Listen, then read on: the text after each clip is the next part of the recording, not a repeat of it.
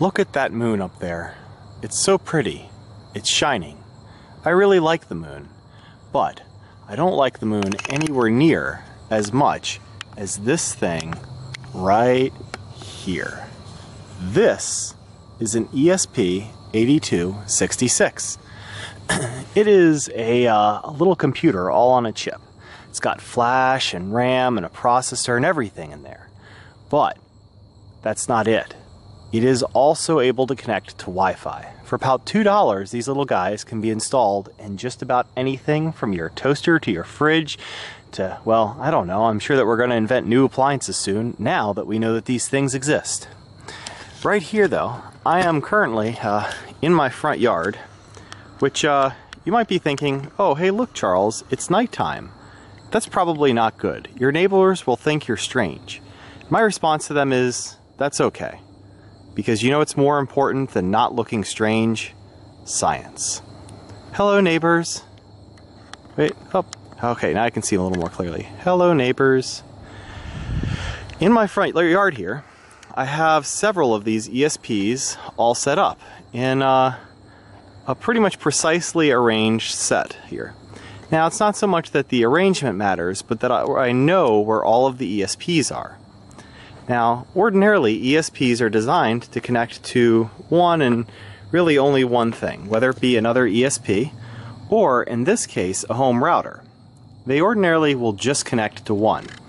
But these ESPs are running special firmware on them.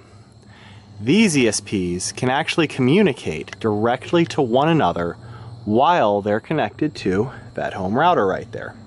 But wait, I thought ESP Now allowed ESPs to talk to one another while connected to a home router. Well, that's sort of true, except with ESP Now, you have to already know which ESPs that are not part of the network you're going to be communicating to. There's really no general system for broadcasting to all ESPs nearby while you're connected to an AP.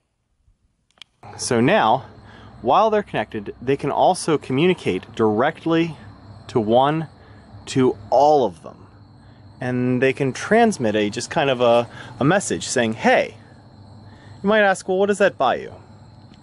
I have a custom interrupt handler written on all of them right now, and that custom interrupt handler will tell me the exact time to clock processor cycles, which work out to somewhere in the order of um, about 160 millionth of a second.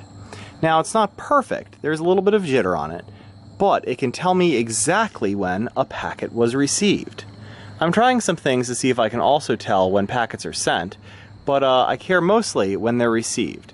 Because if that guy right there sends a message to that guy, that guy, that guy, and this guy, well, then I can correlate the times. I can know that when each of these received that packet, I can then back out based on the distance from that thing to the sender based on the speed of light what time exactly all of them had on their local oscillators when they received their packets.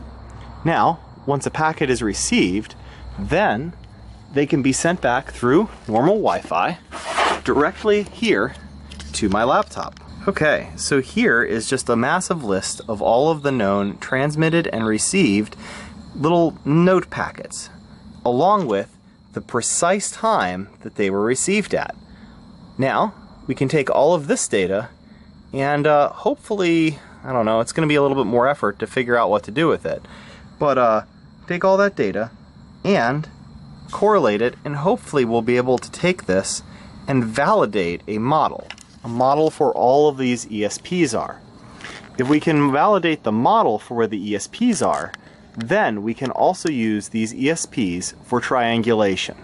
Now, a lot of other people have thought, well, wait a minute, you should be able to do triangulation based entirely off of RX and TX power, or sorry, RX RSSI. And that's not entirely true. Based on a, a, video that I learned about, and based on a video I made where I learned a lot about this topic, um, the RSSI changes dramatically over even a very, very small space. So it's very hard to use the transmit receive power to really tell much of anything. But this system here uses time of flight. And hopefully, hopefully, we'll be able to use time of flight to determine localization. One other uh, interesting thing is, even if we can't determine localization with that, we can uh, still also get uh, the the RX and TX power as well. So that's what the first, uh, the second column right here is, is the RX and TX power. So I have the IP address of the receiver, the MAC address of the sender, the MAC address of the receiver, whether or not it's a receive or transit packet, the packet ID, and the exact time on the, the processor clock when the event happened. It's a little bit of an unusual way that I get that data. Uh, you can actually check out the GitHub where I go into some of the details, but um, but yeah, so this is hopefully going to be something pretty neat. Who knows? It might actually be part of this video if we figure it out in time. I have my GitHub repository available publicly here. I explain how I collect all the data, how I intercept it, how, well, everything works the timing, uh, along with how it's collected and how I would go about 3D localizing, along with why it's hard. And uh, if you want to try to solve this problem yourself, which I strongly encourage, I've made available a bunch of data runs from this test. Enjoy!